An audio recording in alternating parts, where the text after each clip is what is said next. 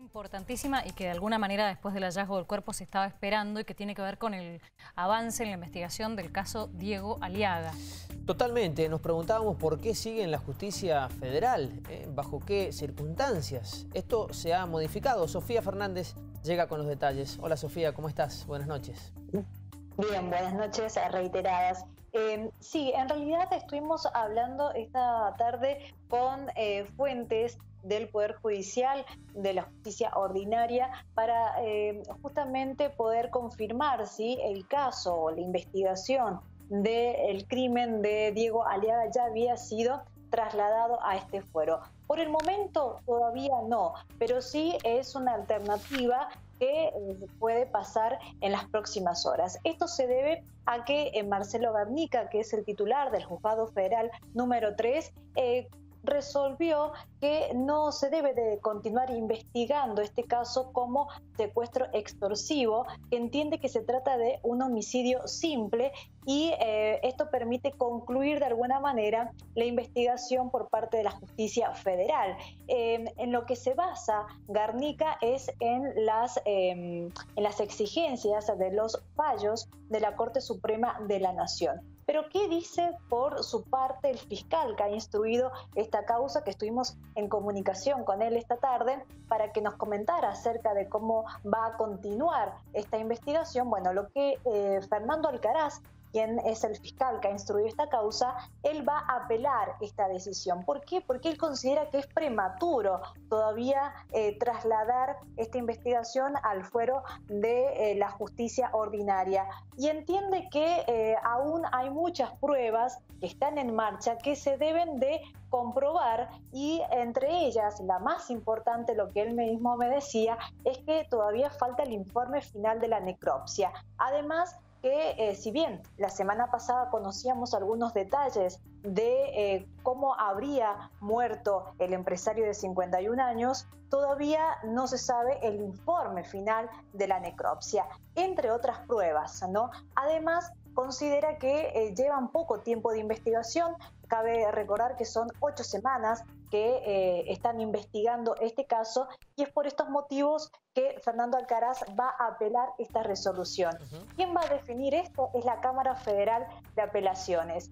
En caso de prosperar eh, lo que ha propuesto Garnica, que ya no se investigue más en el fuero federal, bueno, allí eh, la investigación va a ser trasladada a manos del jefe de fiscales de homicidio, Fernando Guso, para luego continuar la investigación la fiscal Andrea Lazo, quien estaba de turno al momento de la desaparición de Diego Aliaga allá por el 28 de julio.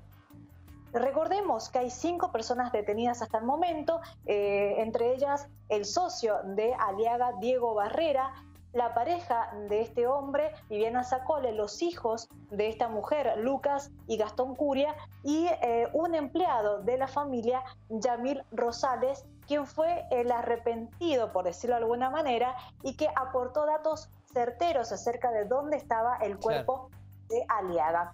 Los cinco están imputados por el momento de secuestro extorsivo seguido de eh, muerte, agravado por la participación de uno o más personas. Ahora habrá que esperar entonces la resolución de la Cámara Federal de Apelaciones para ver si continúa en el fuero penal eh, federal o si en el penal. Ahora, Sofi, también es muy importante esto. Vos eh, en el canal junto con Sebastián Salas vienen siguiendo este tema, ¿no? Y esta mañana contaba Sebastián también este, uno va prestando atención a, lo que ustedes recogen de, sus contactos y bueno, toda la información que manejan, que hay, algunas eh, declaraciones dentro de esta causa que apuntarían justamente al funcionamiento de eh, parte de la justicia federal. Eh, por lo tanto, es importante si sigue investigando o no esta, esta situación, porque es posible que surjan dos opciones, ¿no? Por un lado, determinar quién asesinó a Aliaga y por el otro lado, si lo que se ha hecho hasta el momento en cuanto al funcionamiento de la justicia es real.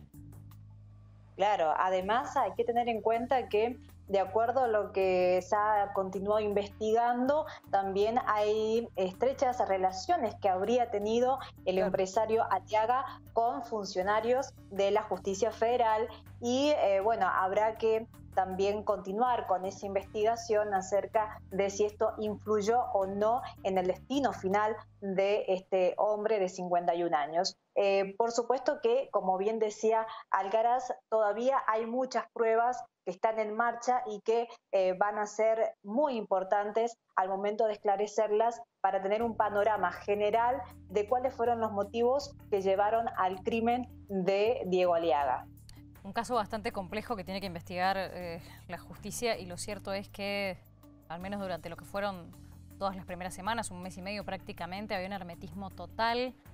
Fue y sigue siendo una gran incógnita y esperemos que se pueda desentrañar. Gracias, Sofía. Buenas noches. Buenas noches a ustedes. Hasta luego, muy amable.